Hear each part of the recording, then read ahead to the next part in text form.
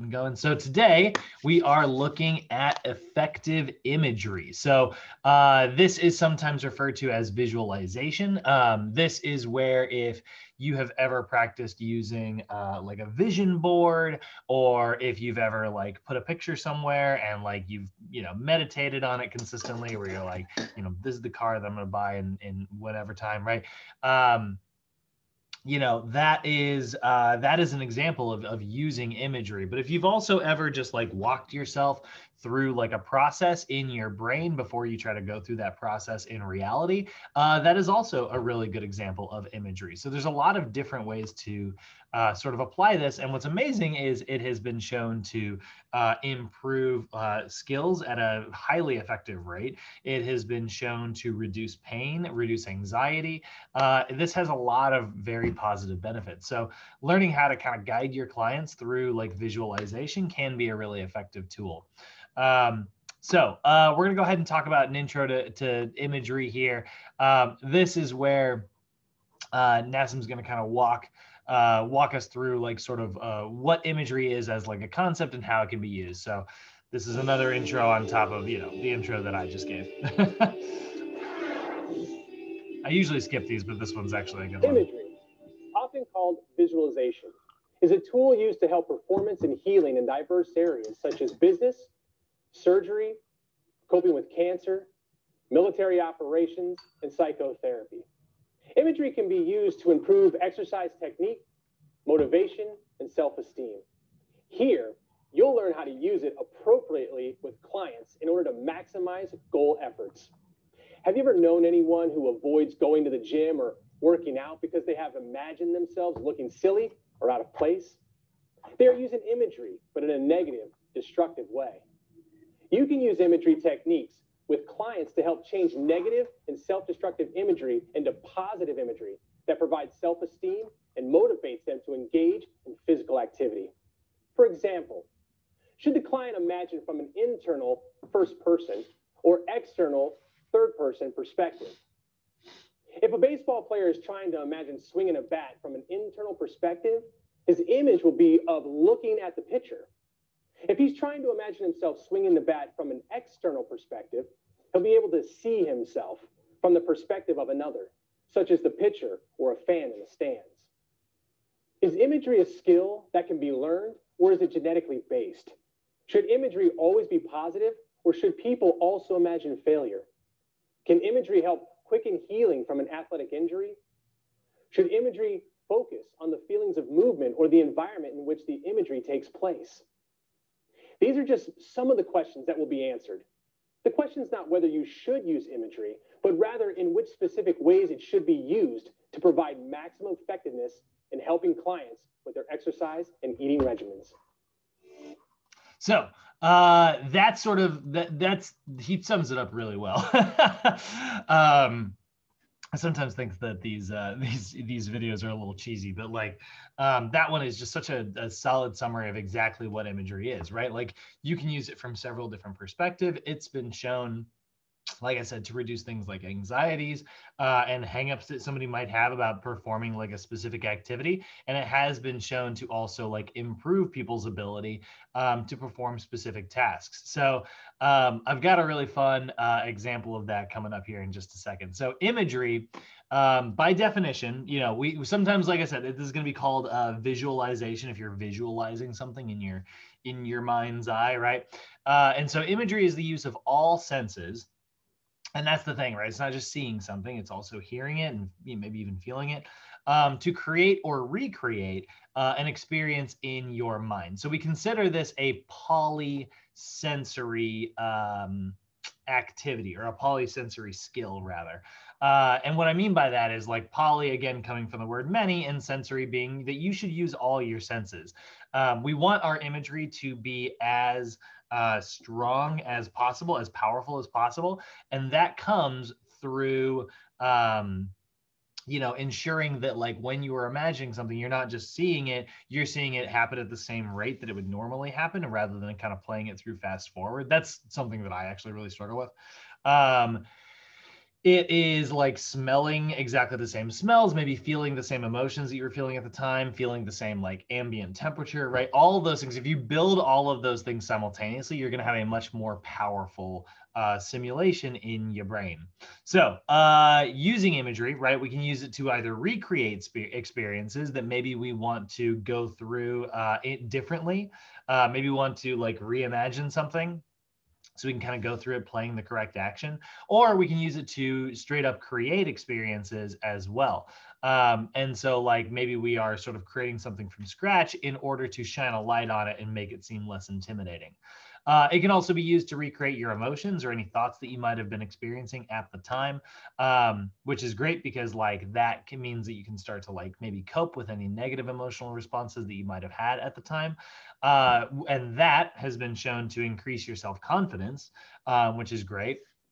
You can also increase your self confidence um, through feelings of like competency. So simply like seeing yourself in your brain, uh, completing a task over and over again will give you the confidence to try to complete that task in real life. This is one of the things that I like to do with my clients. Um, this is not you know exactly leading them through like a major imagery technique or anything like that but I always encourage my clients to imagine themselves uh, in the future, like imagine their future self looking back on this moment right now. Um, your future self is going to thank you for the hard work that you are putting in right now. And future self is going to have a lot easier time doing this, you know?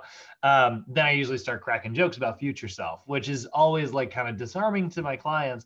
Um, and they enjoy it, but they also like take it very seriously where they're like, you know what, you're right. Like, um, I can see myself doing this in the future, and I can see, you know, what I'm going to look like or how I'm going to perform you know uh, how i'm going to feel right? All those things and like it's motivating it's exciting you know? Um, so uh, it can be used like i said to enhance like your self-confidence um, by creating feelings of competency because you are seeing yourself perform like specific skills um, successfully. Uh, there is also um, uh, a lot of really fun information out there. Uh, there's a lot of when it comes to like talking about like imagery's effectiveness. Uh, there's a lot of like anecdotal evidence out there.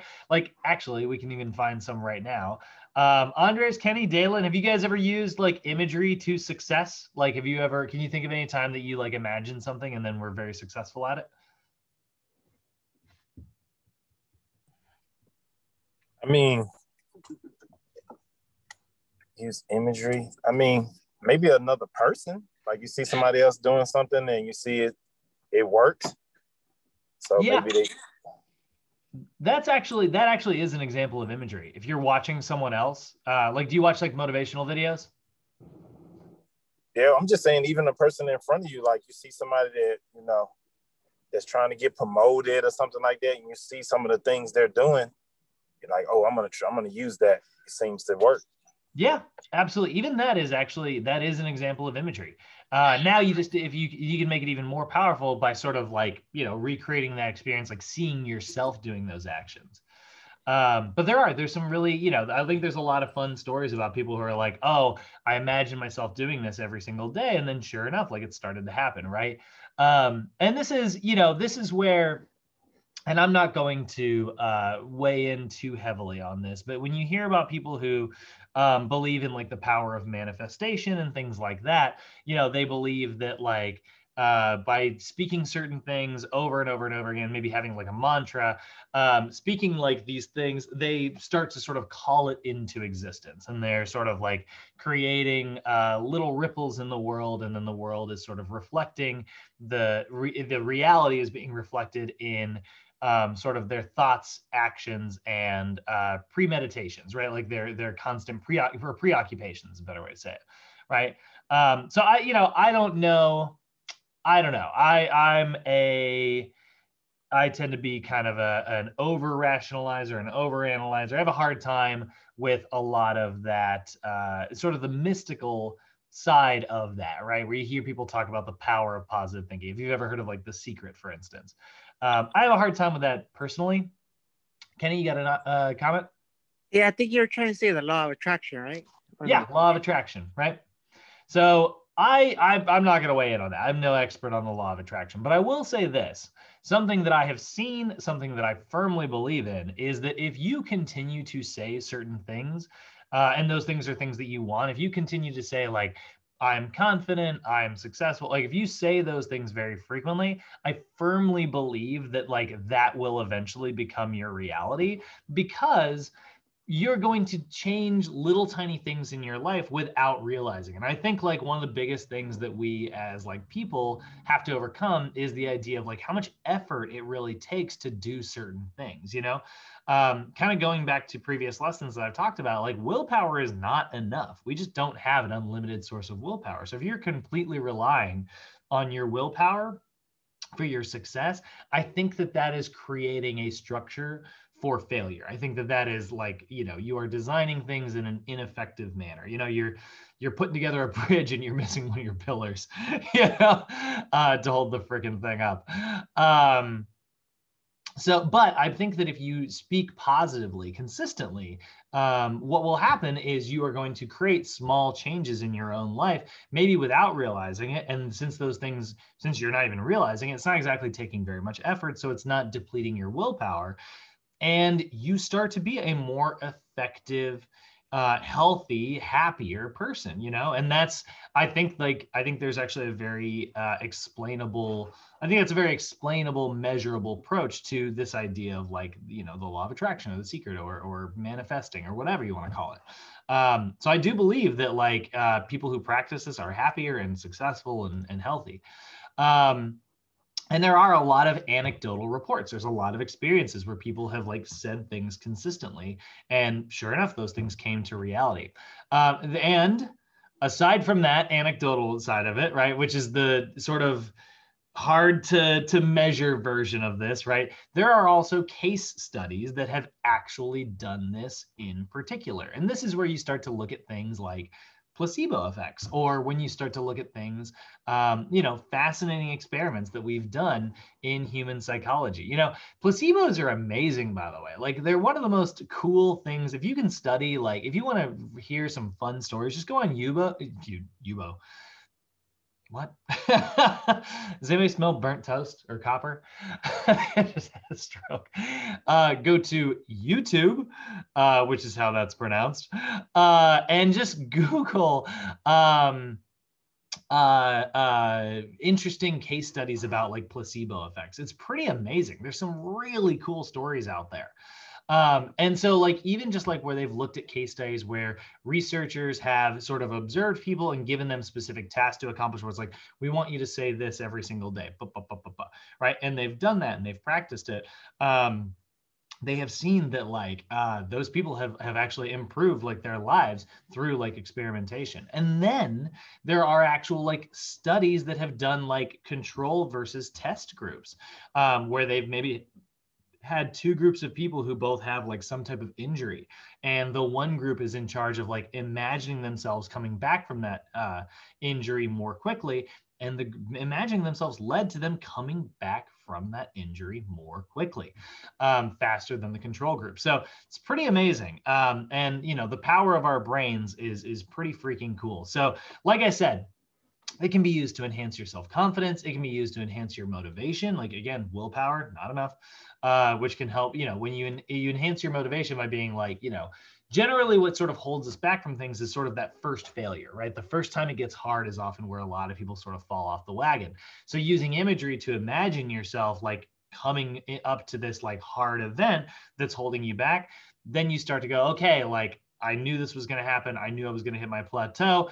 And my trainer told me, you know, uh, to focus on several other different numbers and trust the process and, you know, take it in, absorb it, but then let it pass. Right. So they knew that this was going to happen and they've created this moment in their brain. So when the moment actually came, they're able to go, okay, I know what to do here um, trust the process and just relax, right? So I don't flood my body with stress and, and make the whole situation worse, right?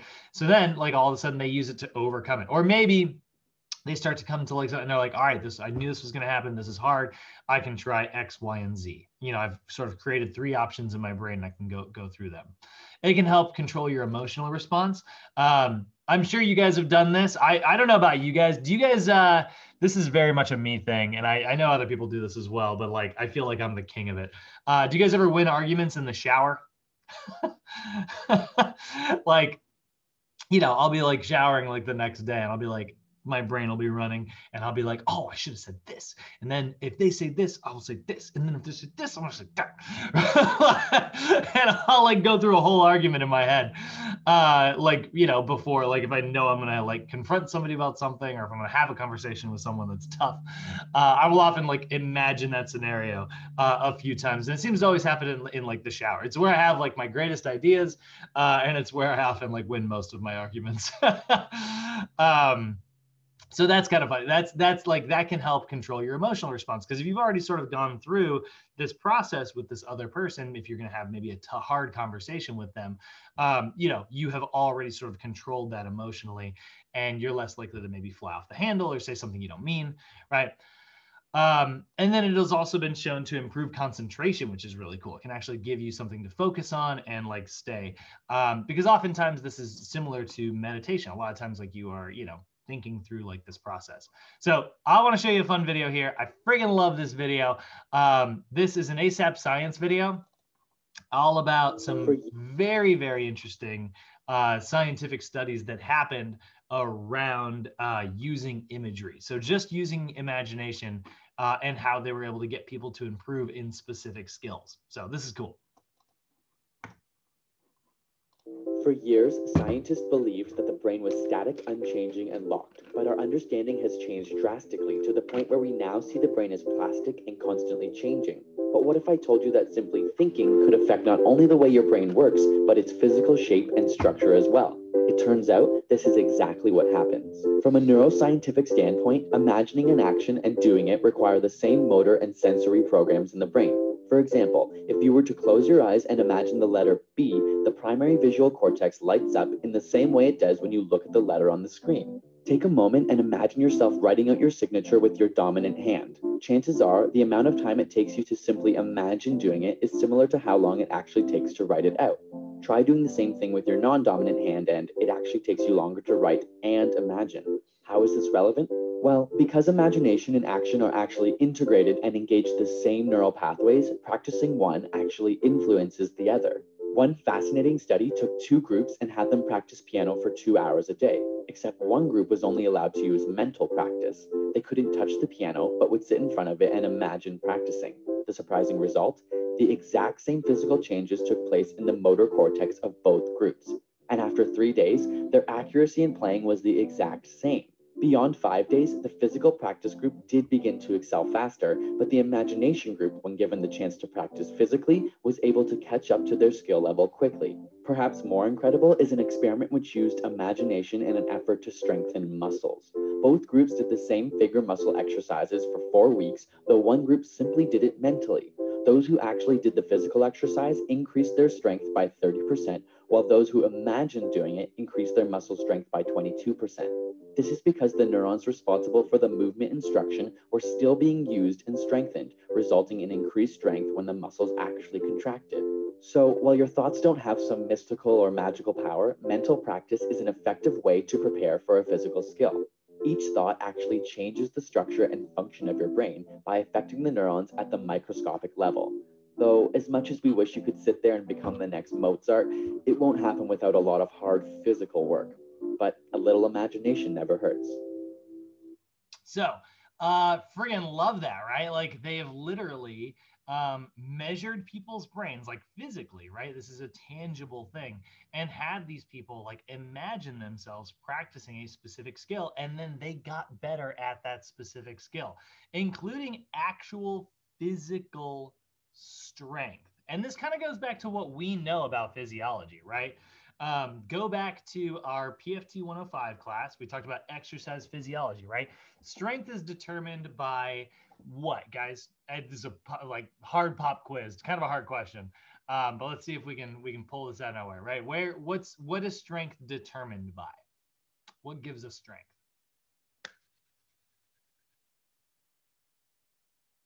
Come on, cricket. The brain, no? All right, there we go. Yeah, absolutely. I'll take it. That's great.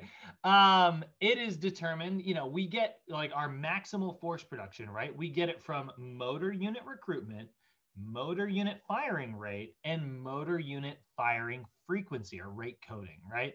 Um, so like that, right? Those three things, like how quickly your neurons are continually firing. Because remember, the signal is like pop, pop, pop, pop, pop, pop, pop, pop, right? We have a weak signal, which is like pop, pop, and we have strong signals like right? Those are are the differences there. Um, so if you are creating action potential super, super, super, super rapidly, it's going to be a powerful contraction. So rate coding is one. Then we also have motor unit uh, um, synchronization, right? So motor unit synchronization coming together. This neuron firing at the same time as that neuron, right? I always like to think of it as like uh, kind of like a tug of war. You know, if you got one neuron that's like zapping a muscle fiber and that muscle fiber is pulling, um, if it's pulling at the same time as the one behind it, you're going to get a really strong contraction. But if one of them's resetting its grip while the other one's pulling as hard as it can, they kind of cancel each other out. Um, I mean, they don't cancel each other out. They just aren't working together. So it's motor unit synchronization is also part of our strength, right? And then uh, motor unit recruitment. The more neurons you have firing to recruit more muscle fibers, the more powerful the contraction. So these are all controlled by your nervous system, right? Now, obviously if you create more muscle fibers and you have more muscle mass right you have more actin and myosin proteins of course that's also going to create strength.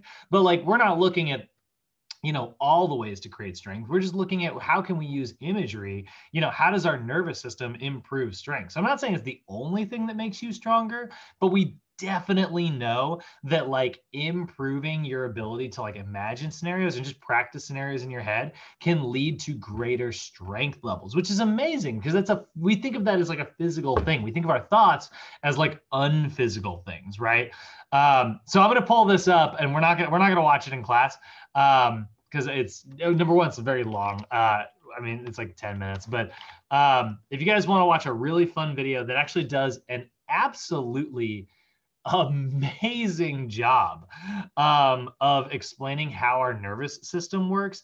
Um, check this out. Uh, uh, how to kill Deadpool. um, how to kill Deadpool. Uh, film theory. So there's this really fun channel called Film Theory.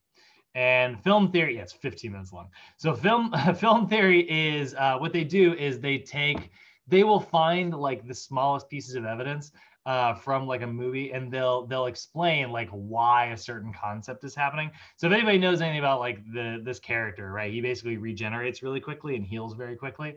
Um, and so he's going to break down this guy's like incredibly smart and he's going to break down exactly how like you could actually kill him you know?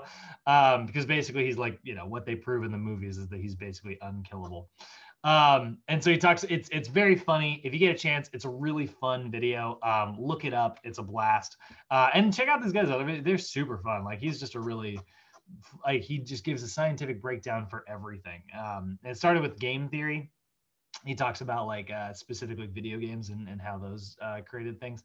Um, but basically, uh, you know, he talks about in the video how our thoughts are physical things, right? So our thoughts are, you know, we often think of our thoughts as sort of these intangible, you know, uh, psychological things that really, you know, just like, oh, it's just your thoughts. It's not like you can't like hold like a thought.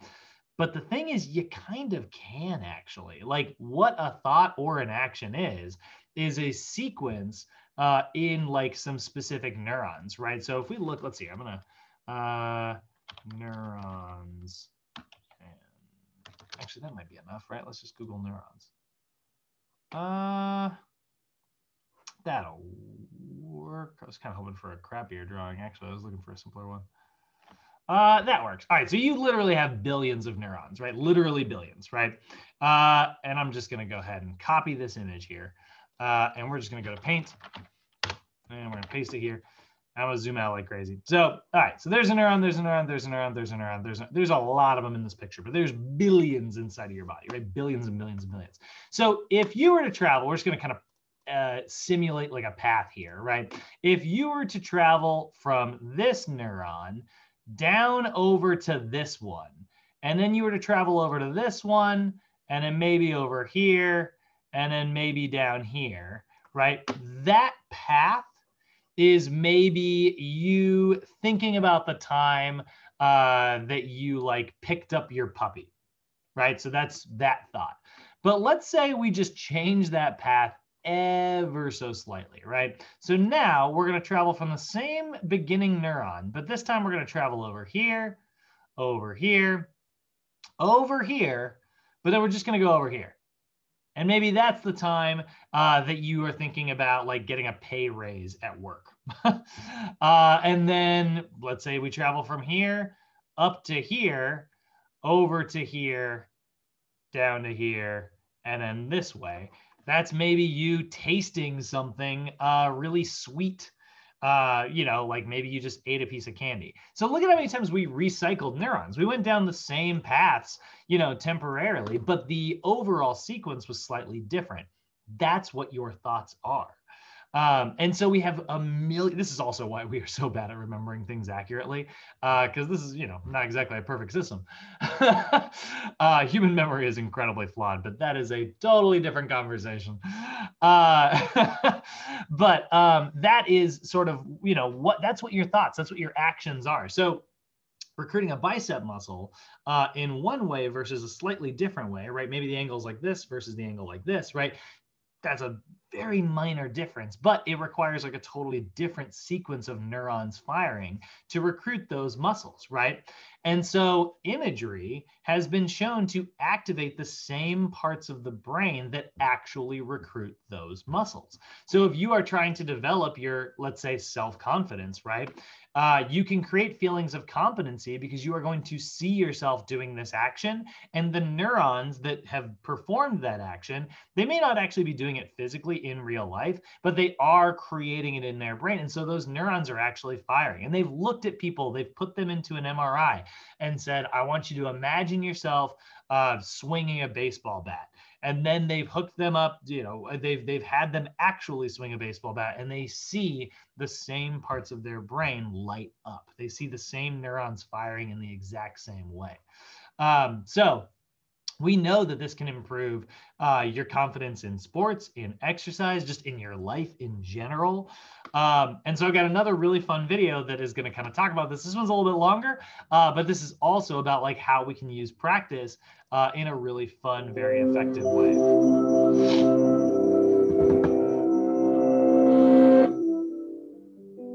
Mastering any physical skill, be it performing a pirouette, playing an instrument, or throwing a baseball takes practice.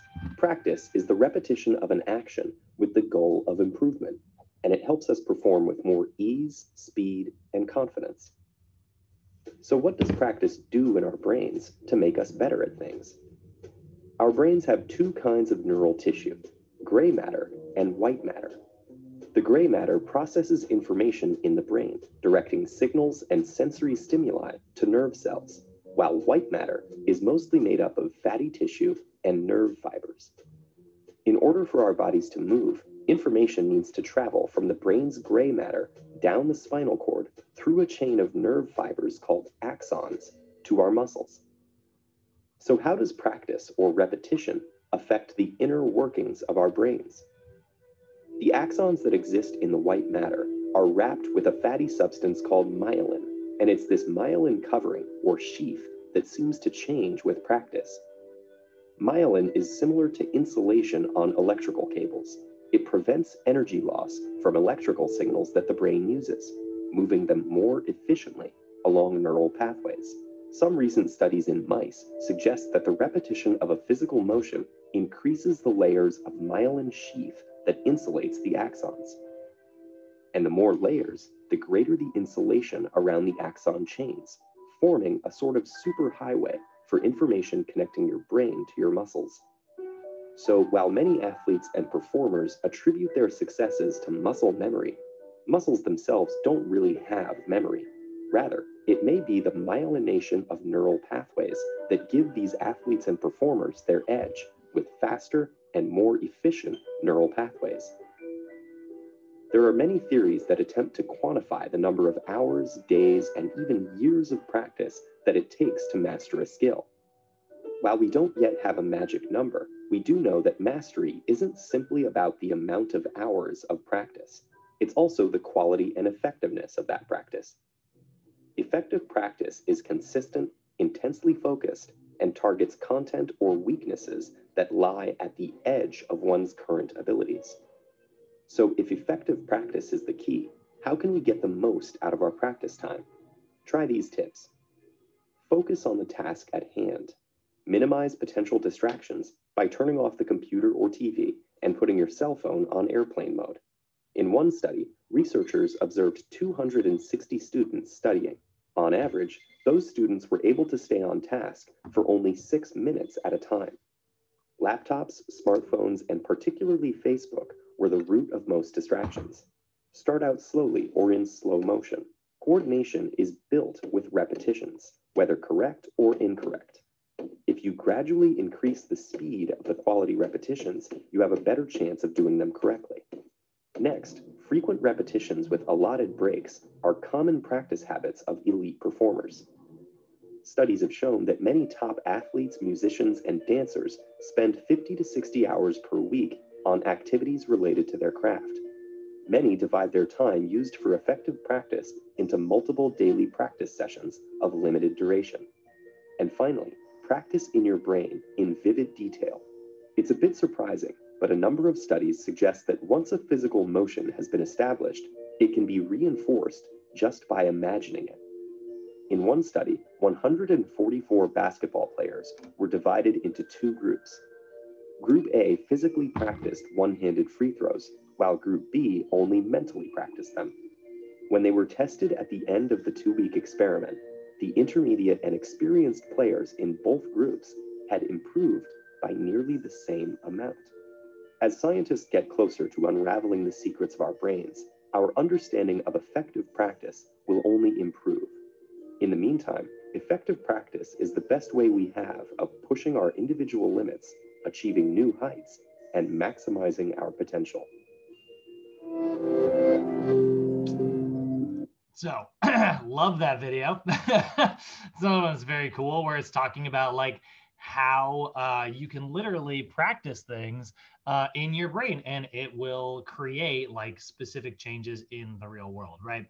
Um, so, like I said, this can also improve your motivation, uh, which is also awesome, right? We can use imagery uh, to develop like new learning strategies. So, if you are, you know, worried about uh, you know, the effectiveness of something, you can imagine it in your brain and then be like, all right, yeah, I'm going to run into this problem around here. And how do I get around that problem? And you're going to imagine like kind of, you know, your solutions, right? What happens when you hit your flat, first plateau? Ah, that's when I need to get back online, you know, and find like a new workout routine, right? Um, so, uh, it can also, like I said, help you control your emotional responses. So uh, it can create higher levels of, and it says arousal here, which always makes people laugh. Uh, we mean like, you know, uh, stimulation in the brain. um, but it can also uh, influence your anxiety levels, influence your emotions, and have a very positive effect uh, on, like I said, like exercises emotions, right? Like if you have a client who maybe doesn't enjoy, you know, uh, exercise as much as as you know we would like them to, right? They're just like, look, I'm here because my doctor told me to get healthy. I, I hate this, you know. um, helping them, uh, you know, uh, creating like a pre occupation with that activity and like imagining themselves doing the things that they like to do or being like hey i know you're not a big fan of this right now but like imagine how you're going to feel when this is like much easier right? That can help them like sort of control their emotions because then they're going to be focused on the positive stuff that's coming down the pipe. They're going to be excited rather than living in the moment of like yo this these burpees suck you know?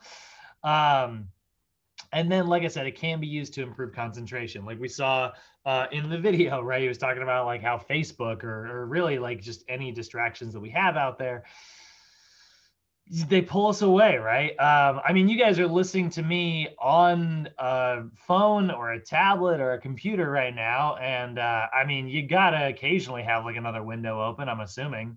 You know you gotta have music playing in the background maybe or you know maybe your tv's on somewhere else like i'm sure I, i'm not able to hold your attention for the entire you know two and a half two hours that we we meet in these lectures uh, and that's okay that's a reality, right? Um, but if you we know that that's true, like imagining ourselves like you know using imagery to sort of improve our concentration can help draw our focus back to maybe something that is important to us, right? Um, so like uh, you know.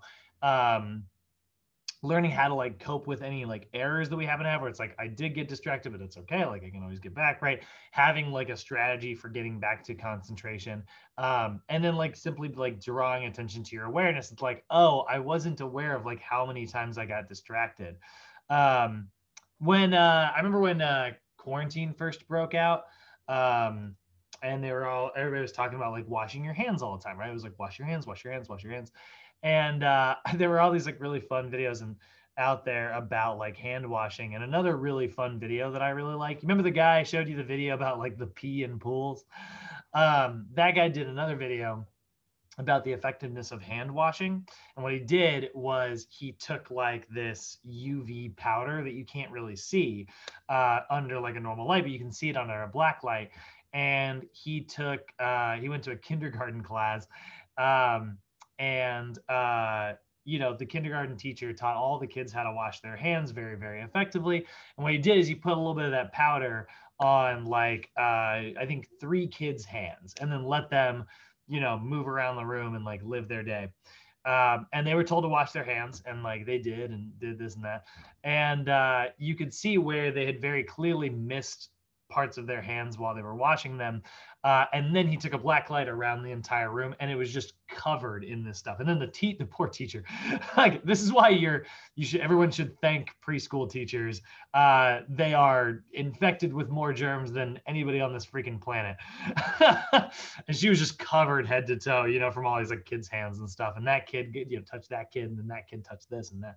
You know, um, it was really a fascinating video. And then he was like uh, he filmed himself for like I think two hours while he was working on a video. Uh, and you know, he talked about like uh, how a lot of people like touch their face, and he's like, ah, there's no way I touch my face. And then sure enough, like you know, he had put the stuff on his hands. Um, and there it was, like he, you know, watched back the video and he UV light and it was all over his whole freaking body. And he didn't realize like how many times he was passively like touching himself and various different parts and places and ways that he was like going about like you know just little like scratches here and little things like that uh, and you don't realize it right you're totally unaware of these things um, now I'm kind of sidetracked a little bit because I'm just like summarizing this fun video that I watched. Uh, but that just kind of goes to show you like uh, if you think that you are like you know uh not distracted and you think that you're like nah i don't glance at instagram that much or i don't like you know browse memes that often right? Uh, i think you'd be shocked at how many minutes per day you actually like do in these scenarios. Um, so imagery can help like improve with that concentration. So all right, so we've kind of we kind of set the stage pretty clearly. Um, let's talk about like how imagery actually works, right? Let's let's talk about like you know what's going on on like a, a neuromuscular or or nervous system level. Um, here's a fun one.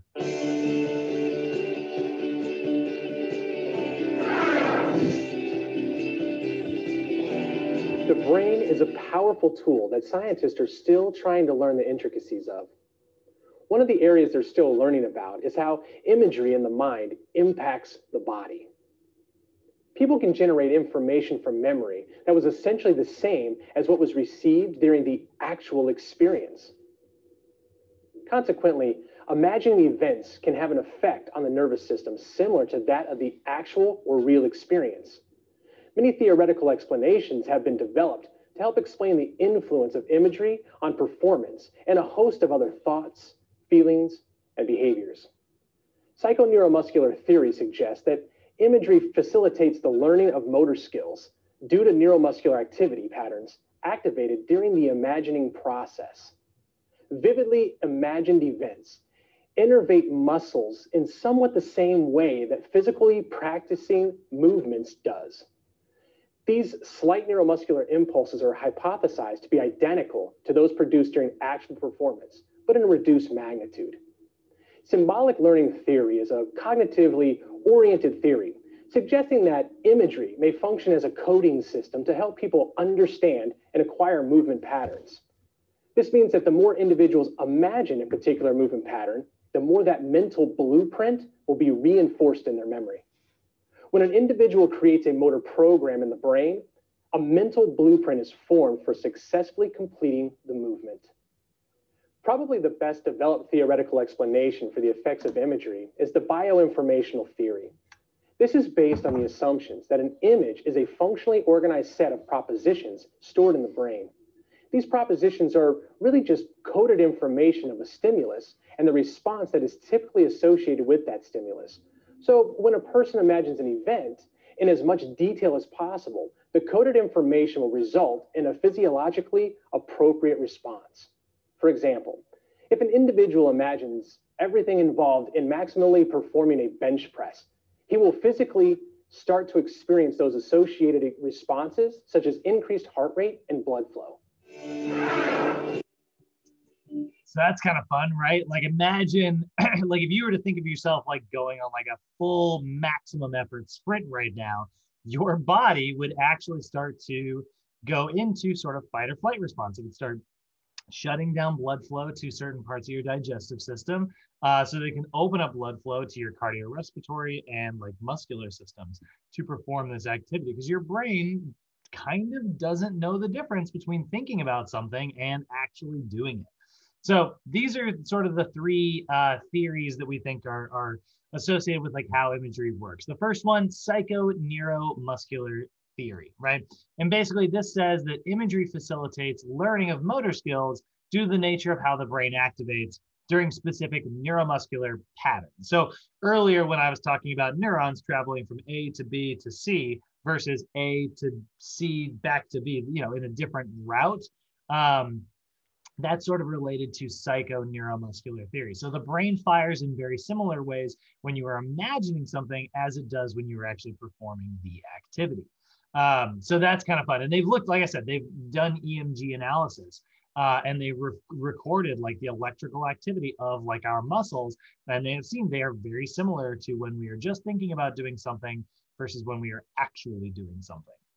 Uh, there is also symbolic learning theory. Uh, this is the idea that imagery helps the brain coordinate your thoughts, your actions, and your emotions uh, by creating like a coded system. So basically, oh, hold on. Uh, gotcha. So basically, uh, when I say uh, something is like like when I say like a coded system, right? Uh, it means that like your brain is starting to draw uh, like an idea where it's like, okay, when this is happening, then I'm doing this, right? Uh, when I'm doing this, I'm doing this, right? And so it creates sort of like a coded system to like, you know, directly draw like associations between uh, your thoughts and your actions, right?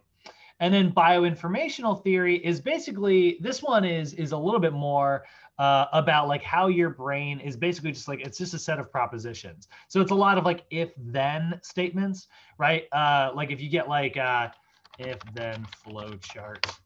Um, yeah, that'll work. So this is kind of like basically, oh, I love this. It's a morning routine flowchart. This is great because we're talking about habits. so this is sort of a flowchart of like your morning routine, right? You're gonna start, uh, get out of bed, and then your brain is gonna ask you a proposition, right? It's gonna say, do I need to use the bathroom? If yes, then go to the bathroom, right? If no, then go straight to eat breakfast, right? Then your brain's gonna say, is it is today like the weekend? Uh, it, or I'm sorry, is today the weekday? If no, then put on your street clothes. If yes, then put on your work clothes, right? Uh, and then once you go have fun versus go to work, right? And then there's the end of your day, right? Love, I love this. is the perfect example of what I was looking for. Um, that's a flow chart, right? So your brain sort of like the theory behind like bioinformational theory the idea behind it is that your brain is having like a flow chart to deal with these scenarios and the more you know you get used to these scenarios uh, the better right um, so like this is one of the reasons why like i tend to really like like checklists when i'm doing specific tasks because then i can like you know do them very systematically right? Um, so uh, an image is a set of like propositions where you're like okay if this happened then i'll do this. If this happened then i'll do that right um, so we have a couple different versions of these, by the way, these these propositions, these like if-then statements. Uh, there's stimulus propositions, which are uh, describing specific uh, features of the scene, right, to be imagined. So like stimulus propositions are like, hey, when you're imagining stuff, you know, imagine yourself in a very sim- similar scenario. You know, sometimes like sometimes our imagination can be very undetailed. Sometimes it can be like uh, you know, just like a blank slate, like it's like you kind of moving through like a black background, right?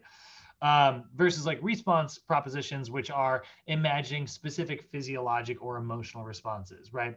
So like a stimulus proposition might be like, all right, if it looks like this, then we're going to do this. If it feels like this, we're going to do this, right?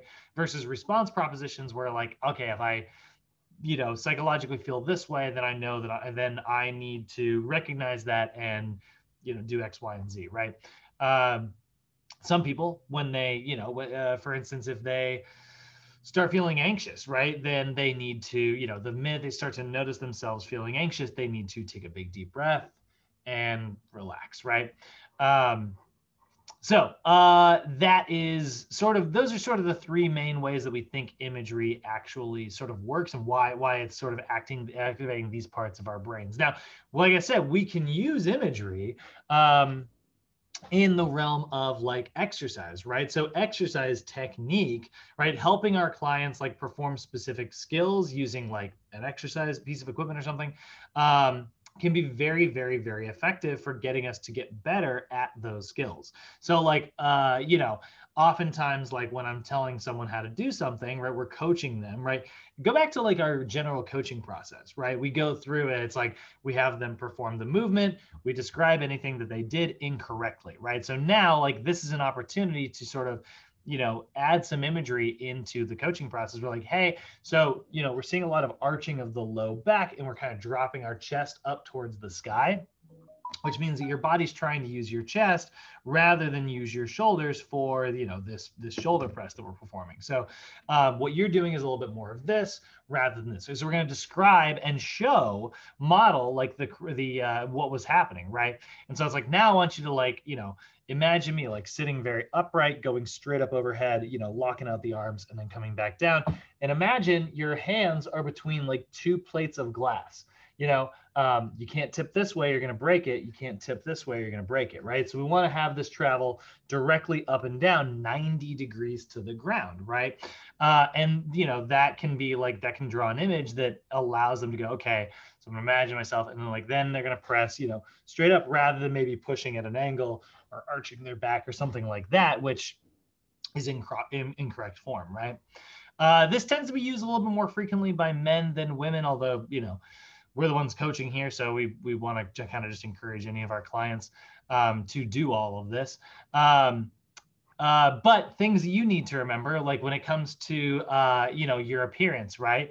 Um, this can be an, an important, like, uh, uh, motivational factor as well, right? In the realm of like exercise, we can say, hey, I want you to imagine what you're going to look like in six months, right? Uh, I want you to imagine uh, how you're going to feel in six months. I want you to imagine how you're going to perform in six months, right?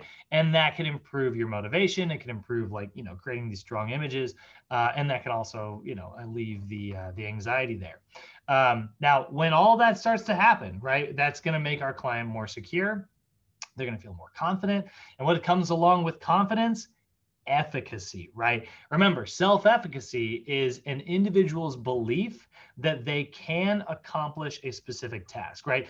Are you effective? Are you efficient at performing a specific task? If you believe that you are, you have high levels of self efficacy, right? Um, and so this is going to give our give you like more confidence. And we know that people who have more confidence perform better than people who are very nervous you know? Uh, my favorite example of this is a story that my dad used to tell about my uncle. My uncle jim my dad and my uncle jim were both incredible pool players. Um, my dad I, he and i used to do like pool tournaments all the time when i was a little kid. And um, he was amazing uh, and he would like, and, you know, and it's because he would like hustle people in his youth. Like he would totally get into like, you know, dangerous situations because he was like hustling people for money like a dummy. but uh, you know, my and my uncle Jim was even better than him. Um, and apparently my aunt Thelma as well. Um, so they all used to play and they were incredible. And my uncle Jim was so good that he got drafted onto this like professional pool playing team. He was, I guess we could technically say he was a pro athlete, although I'm not going to call a pool. I don't know. Uh, that's me being judgmental. Uh, so he uh, he was not as good as like most of the other people on that team. But what my uncle Jim was incredible at is he had steel nerves. You know, he had he had nerves of steel that he just you know no matter how big a game was, he would be the guy that they would send in because like he wouldn't get nervous and it wouldn't affect his play at all.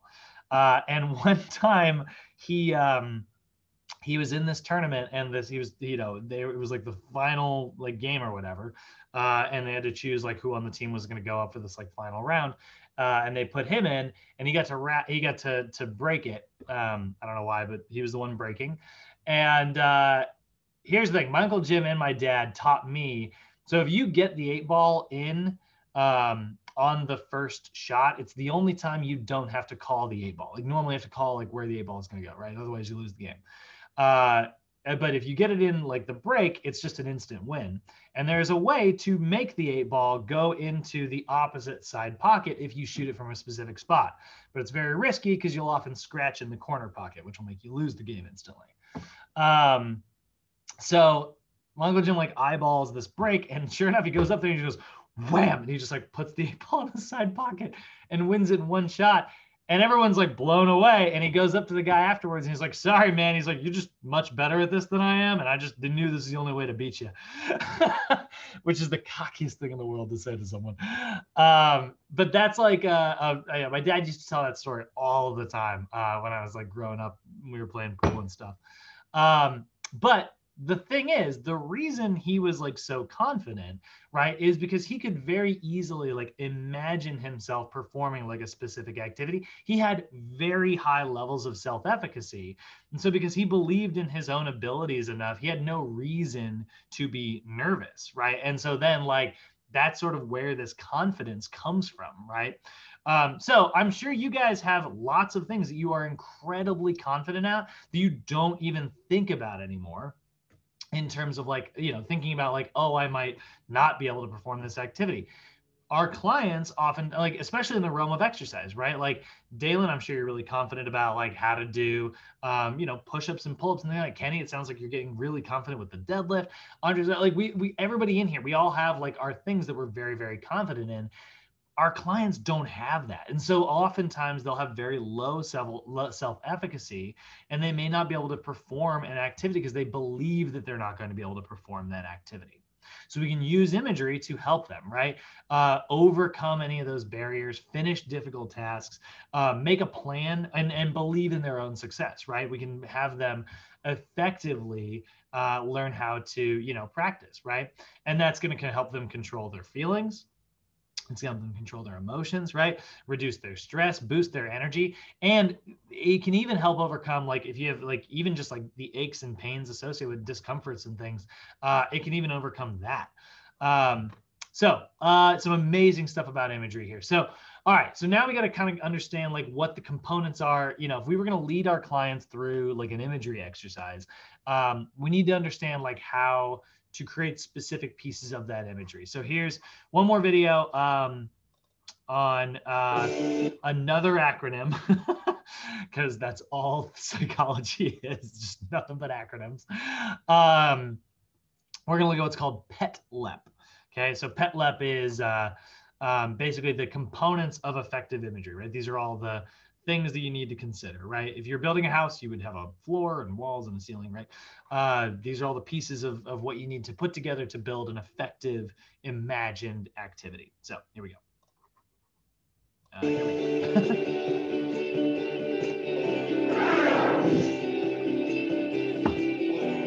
when using imagery techniques, they should be functionally equivalent to the actual skill or behavior that is performed in real life. To accomplish this functional equivalence, Holmes and Collins suggest a seven-part model based on current scientific findings. For the practitioner, imagery scripts should incorporate physical, environmental, timing, task, learning, emotional, and perspective elements, hence the acronym PETLEP. Though this model was developed for sports performance, it has shown great usefulness for exercisers as well. The seven components of the PET-LEP model are a good starting point for developing an imagery training program because they provide direction on the most effective way to imagine the desired behavior.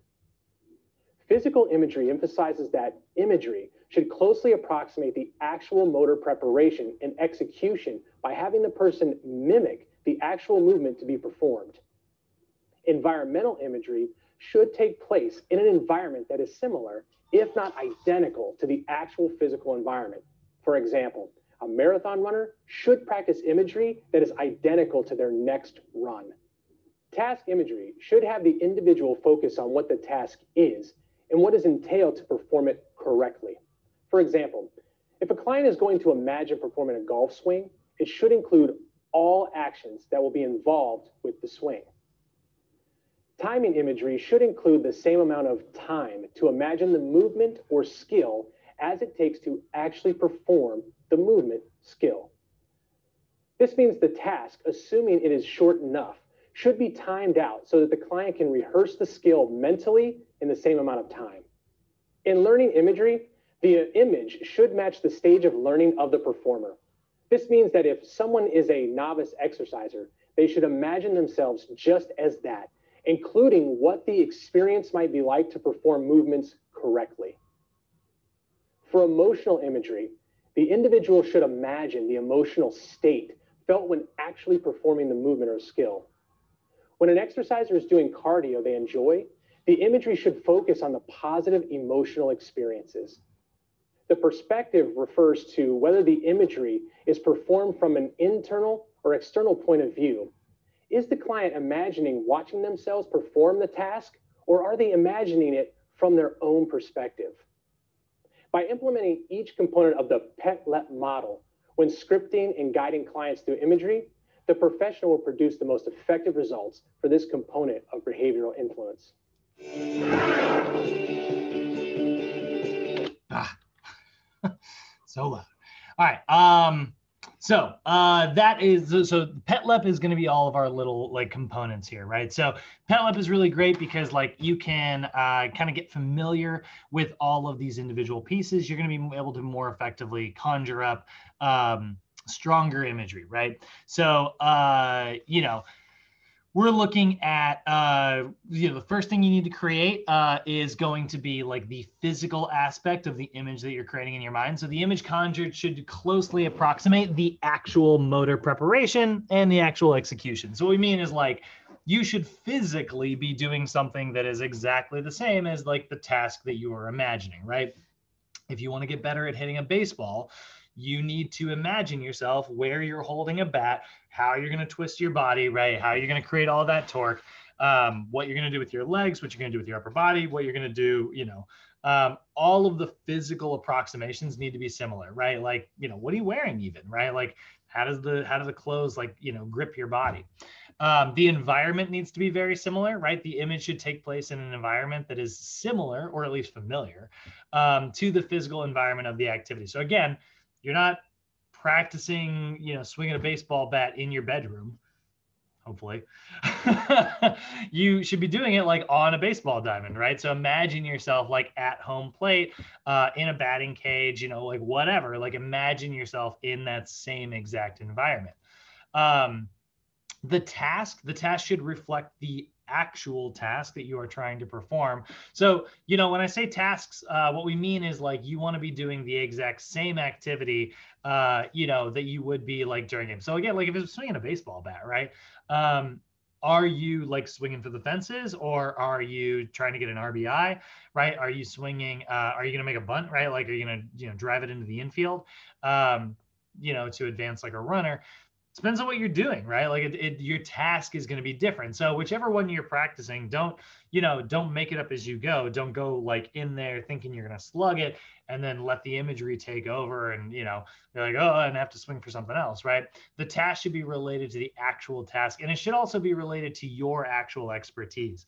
Um, this is where uh, kind of similar to learning here uh, you know you should base it like if you can you know, if you're practicing layups and you can't dunk a basketball, um, you know, you should be practicing like your task should be those things should be separate, right? Um, timing, the amount of time taken, this is one I struggle with a lot. Uh, your timing of the imagined experience should be the same uh, as the actual timing for the actual activity. So remember the first video we watched, uh, he was talking about how like you imagine yourself like writing out your signature with your dominant hand, right? Um, and you're like, okay. And then imagine yourself, uh, you know, writing that signature with your non-dominant hand and it actually takes longer, right? Uh, that is the timing related to your imagery. So don't rush through your imagery. Um, don't reset your imagery over and over and over again. Um, imagine how long uh, it takes to perform that physical activity, right? And make sure that it's similar to the actual time it takes to complete that physical activity. Uh, the learning should match your stage of learning. Again, um, you know, uh, if you are just learning how to, you know, if you've never touched a basketball in your life and you're trying to learn how to like shoot it, uh, maybe don't imagine yourself doing like a triple backflip dunk, right? Like the imagery that should be based on like where you are as, as like a learner, right? Um, I'm not going to take like a brand new client and have them imagine themselves doing like a, you know, power snatch, right? Uh, I'm going to teach them how to do like a deadlift first, and then how to do like a an overhead press second, right? Teach them how to do like, uh, you know, eventually teach them how to do like an upright row, and then get them into like doing like a, a hang clean, and then like a full power clean, and then like a clean and jerk, and then eventually we can get into like snatching, right? Um, so make sure it is based on like the learning stage. Uh, we don't want to do too much too fast. Uh, emotionally, you should conjure up a similar emotional state. Like, you know, if you're trying to recreate an experience in your mind, or if you're trying to like create a new experience in your mind, uh, are you going to be nervous? Are you going to be confident? Um, if you are going to be nervous and you want to be confident, right? Uh, imagine yourself accurately first, and then go back through and practice that imagery um, you know, with confidence, right? Like what steps can you take to change that? This is where the emotional one, like this is where often like replaying things in your head a few different times uh, can allow you to, uh, you know, have various different emotional states there and kind of practice all of them. Uh, and now the last one is sort of the most complicated and that is your perspective. So this is where when you're conjuring up imagery, you've got to determine are you going to imagine the scenario from an internal perspective like first person style like imagine you doing it right? Uh, you are seeing through your own eyes or are you doing it from an external perspective where maybe you're seeing it as like a spectator um, we really like a good blend of both of these things, right? So internal imagery is imagery performed for your own point of view. Uh, you are imagining it as if you are doing it. And external is imagining from an outside perspective, you're watching yourself do like a specific activity. Both work, like I said, really, really, really, really well. So oftentimes what you'll want to do is imagine yourself going through a scenario internally and then imagine yourself going through a scenario externally. Um, doing both of those things is going to further enhance uh, and and reinforce that imagery, right? Um, so uh, if we're looking at how to do this, let me see here if I if this is coming up. Yeah, it's actually not. So uh, if we're doing this, there's actually a really good uh, sort of guided version of this in your manual. Um, go ahead and pull this up here. Oop. Let's zoom out. Um, where are we at? Okay. So uh, if we're doing this, right, you're going to want to kind of go through this a few different ways. Um, yeah. So uh, this little like kind of teal section right here, um, this is going to be uh, this is sort of going to help you sort of recall certain experiences and practice your imagery if you're trying to get better at this. Um, and what you'll do is you are going to uh, practice like alone first right? Like imagine yourself in a scenario where no one's watching you uh, and then you are eventually going to imagine yourself in a scenario where people are watching you. And what you do is you're going to go through that task um, and imagine yourself going through that test uh, task as accurately as possible and then, especially with the one where people are watching you, uh, what you can do is you can then imagine yourself going through that task and making a mistake um, or making like failure. Uh, but we don't want to leave it there. Then we are going to immediately go back and imagine yourself doing this task perfectly. Uh, and then as we go through that task perfectly, we want to imagine it from an internal perspective. Then we want to imagine again from an external perspective. So there are several steps through this process. Um, and if you go through this little guided section here, this is a really great way um, to kind of sort of sort of practice these things. And then there's some things that you can use to also increase your vividness, right? Uh, and that's what we're going to talk about next. So uh, once we kind of sort of go through imagery and start practicing and kind of get used to it, uh, we're going to start evaluating these skills, right? Um, so we need to go through like uh, and sort of evaluate like what am I doing? You know, what's what's really effective about imagery? What's working really well? What am I doing great? What am I you know kind of struggling with, right? Um, so we're going to assess you know an individual's current level of their imagery skills. That's where you know an evaluation like this works really well, right? You're going to ask your client. Um, you know, rate how well you saw yourself doing the activity. What about how you, how well you heard yourself doing the activity? Did you just draw like a silent image of you doing this, or could you hear like birds in the sky, right? Um, how'd you feel yourself doing the movements, right? Could you feel like, you know, uh, when your muscles torqued, like any of the the pressure that was in your back as you were twisting, right? How well were you aware of your mood? all these different questions. You're going to rate on like a scale of like one to five and see like what you're really good at versus like maybe what parts of the imagery you are sort of struggling with, right? Um, and then remember, like uh, we want to make sure that we understand like how this uh, we have some realistic expectations here. You know, this imagery is not going to improve like overnight. You know, you, just like anything else in terms of exercise, like how do we get better at it? How do we improve it? You know, how do we become like an exercise master, right? Um, practice and experience, right? Like over and over and over and over again. Um, and part of the things that are also going to make your your imagery much more effective uh, effective is going to be looking at your imagery's vividness. And this is kind of what we've been talking about the entire time, but here's the sort of definition version of it, right? So vividness is uh, how much detail is in your imagery, right? So vividness exercise number one here, you can see, uh, imagine that you're home in your living room, look around and take in all the details. What do you see? Um, do you see a couch, television, chair, lamps? Like, uh, is it is it hardwood or is it a rug? Right? Um, what do you hear? What's the temperature like? How are you sitting the way you normally sit? Um, what's the shape and the texture of the furniture? Take in all of that, right? Maybe even how does it smell, right? All those things. The more of those things you can conjure up, and the more that you can kind of keep that in your image, um, the more detailed it's going to be, right? Um, that's vividness, right? It's it's how detailed your images are. But then you also want to understand there's a controllability aspect to this well as well, right? This is another thing that I tend to struggle with when I'm, you know, using imagery activities is uh, controllability, right? Sometimes like my imagination just starts going off the rails, and so I'll be like, I need to imagine myself, uh, you know, um, sprinting 400 meters. And then all of a sudden megatron shows up and i'm like oh god transformers are here. You know? Um, that shows low levels of controllability. It's like oh luckily gandalf's here to fight megatron. Great. You know, like and now my brain is going off somewhere else.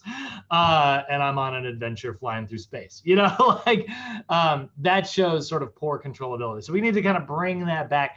You know um, uh, how much controllability you have to give you a more accurate assessment, a lot of times, like when I do imagery, uh, I will often, con- you know, create like a really vivid image, uh, and then I'll, I'll get like halfway through like an imagery exercise, and I'll either rush through to the end, uh, or it'll just kind of keep resetting over and over again. I feel like those are the things that I tend to kind of struggle with in the imagery world. Um, and so the controllability factor is something that you know gets better through practice. Um, so that's what we're seeing here, right? The the big elements we're going to see we need to obviously practice, um, uh, and that's going to help increase like how well you get at this. We also need to develop coping imagery. Coping imagery is like, hey, when we make a mistake, what are we going to do, right? Uh, how do we cope with you know uh, this mistake that we might make, right? Again, like if I am conjuring up an image where you know I'm trying to perform like a specific activity, but like I fail at that activity, right? What's my emotional, what's my physical, you know, what is my psychological response to that failure? Uh, and one of the ways you can also do this is using like recording devices, right? Um, anybody in here who has ever played football or any other sport, right? Chances are you've gone back to the tape, right? Um, this is one of the things I love to do this with my clients. I love to, and I always make them use their phones because they're the ones, you know, that way I don't have to keep it uh, and lose it. But like, um, I love to like during the overhead squat, like film my clients like doing their squat and then break down for them, be like, here's what we can see from these muscles. You know, here's what this is telling me. I want to see improvement in this like over time, right? And then like, you know, they improve and they improve and they improve and get better. And then we take another video. It's like, do you see how like look at the stark contrast here? Like you're clearly engaging your medial glute a lot more. Your knees aren't caving in the way they were, uh, you know, when we first started. Uh, and that can enhance the clarity, that it can enhance the vividness when your client imagines what you're saying in their brain when you're saying like okay remember i want you to drive your knees out during the squat activate your glutes right they're going to know exactly what you mean by that they're going to know how to do that and what muscles they have to contract that's going to improve their confidence it's going to improve their motivation it's going to improve everything so drawing this all back and, and and talking about how we can use imagery, right? Depends on what kind of uh, where our client is at in the stages of change, right? So if we got a client who's pre-contemplating, remember there's a client who has no interest in changing, right? They're not thinking about it. So we, our imagery should be related. If we're going to use imagery as a as a tool, uh, it needs to be based around the idea of getting this person to start thinking about it, right? So similar stories is a good example of this, right? Uh, you can use like anecdotes um, to uh, uh make that person like hear a story about like how someone else's life may have improved or you know how easy it was that for them to start engaging in physical activity. Um, tell them a story. Recount like a fun story about like a time you worked with someone similar to their shoes right? This like i said it's very rare that you're going to get pre-contemplators um, coming to the gym. Because again like they wouldn't have come to the gym if they're not thinking about working out right? Um, although it'll happen occasionally you'll get a client who's there maybe because like their spouse asked them to or their doctor told them to and they're like i want to listen to my doctor even if i don't care right? Um, and so our interventions for clients and the pre-contemplators similar stories are really helpful you know where it's like oh i had a client who's in a similar situation who right? and then they start to go oh well it sounds like that person's life improved right?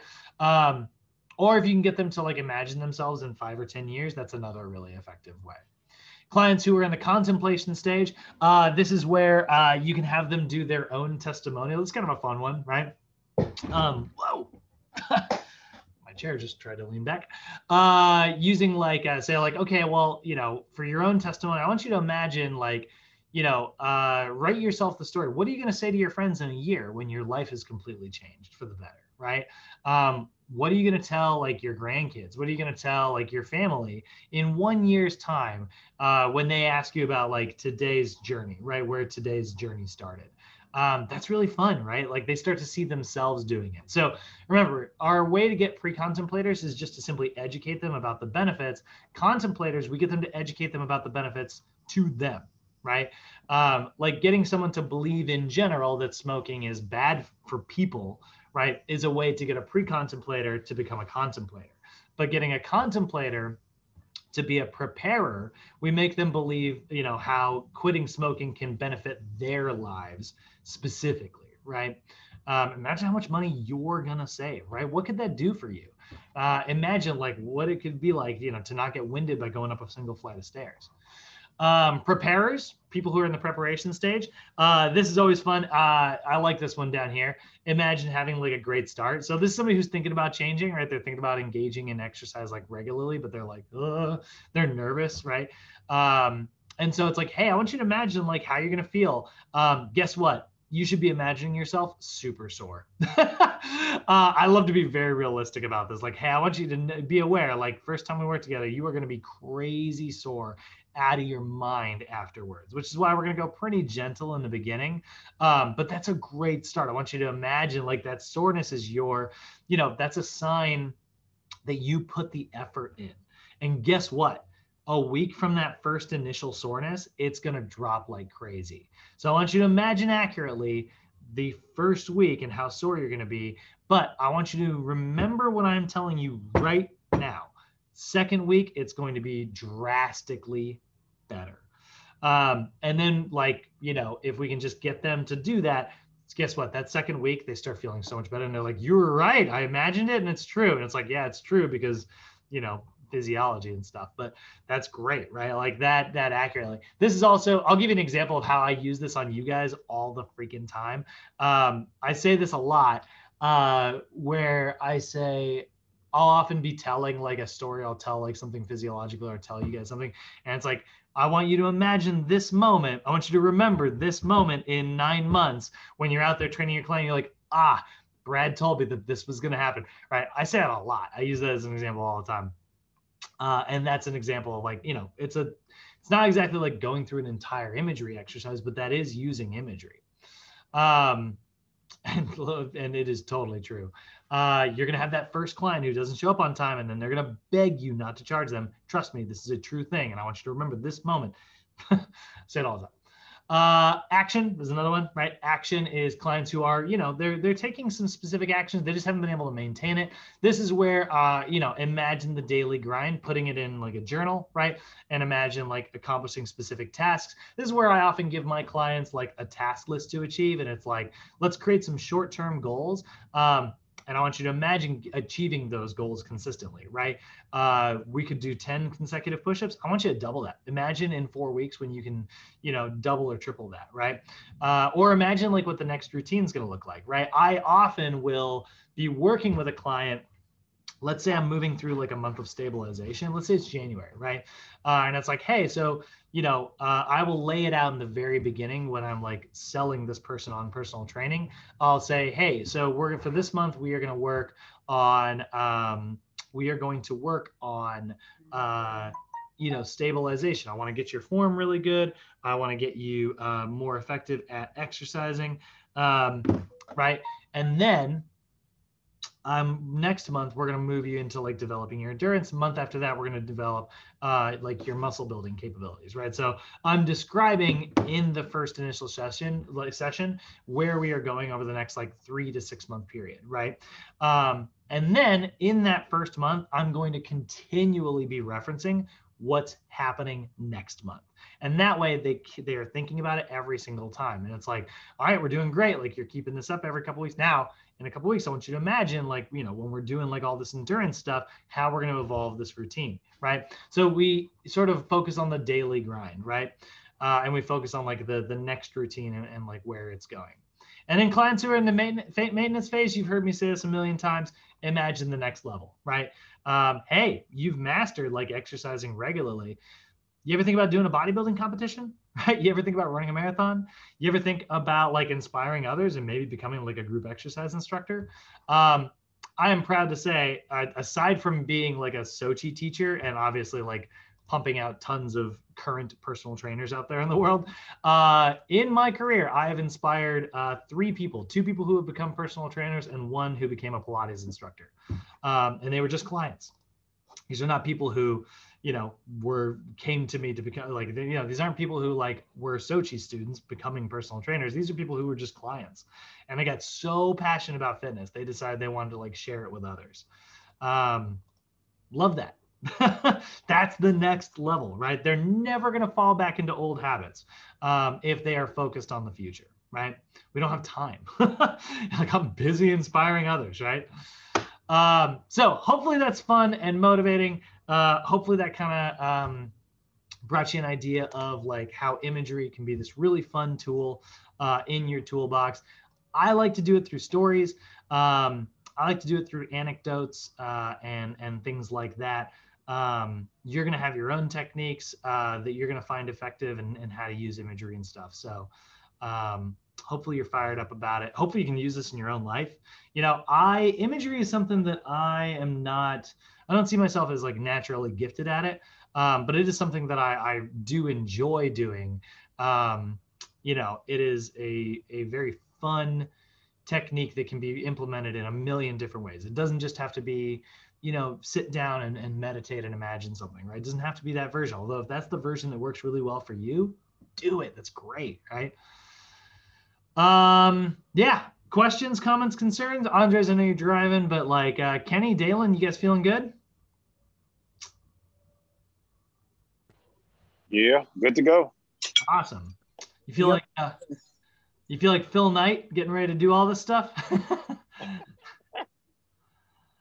um, Phil Knight or uh, friggin' uh, um, God, there's so many like famous coaches. Uh, we were just talking about Tony Dungy the other night. He was a good example of using imagery like crazy. Oh, you're talking about Bobby Knight? That used to be Indiana coach. Bobby Knight is another one, right? No, I mean just Phil. Phil, you know, he's the he's the CEO of Nike and stuff, but he talks a lot about like. Oh yeah. Um, he talks about using it a lot. Bill Simmons, he was another one, big imagery guy. Um, I, you know, it's funny. My parents, uh, my parents got me the most amazing like Christmas gift uh, when I was back home. They got an anonymous book. They went to a bookstore and it was like there. It's like a paper cover, and then like it was like this book, and it gives like a general description. It wasn't like what it was actually about. Uh, and then like I unwrapped it, it was Bill Simmons. I was like, hell yeah, former Seattle Sonic. my parents nailed it, and his biography is cool, man. He's a fascinating guy. Um, loved imagery. So, uh, all right, that's about all I got for you guys. Um, we got homework three then. So, this is our final piece of homework. Uh, is going to be up today, uh, covering uh, the final bits of this course. We'll have one more lesson um, on Monday, and then we'll be meeting on Tuesday. Um, so uh, our lesson on Monday is going to be a double PowerPoint. It's going to be about like how to use interpersonal relationships uh, you know, how to create like social structures that will help our clients adhere to a program. Uh, and then we will also talk about like, you know, how to sort of implement this into your career. Um, so it'll be a little bit less about like the, the final section will be a little bit less about techniques that we use, a little bit more about like, you know, how do we market this? How do we, you know, get this into uh, our role as trainers? Uh, and then we'll meet on Tuesday and do like a fun little uh, outdoor workout. I want to take everybody through like a uh, um, uh, more of a hypertrophy style routine. So that'll be kind of fun. A little bit more sore from the Tuesday workout, uh, which will be fun. On which day? Uh, Tuesday. We're gonna meet Tuesday. Tuesday. Nine and six again in the same park and stuff. And yeah, that's about all I got for you see you guys uh see you guys monday. Have a great weekend guys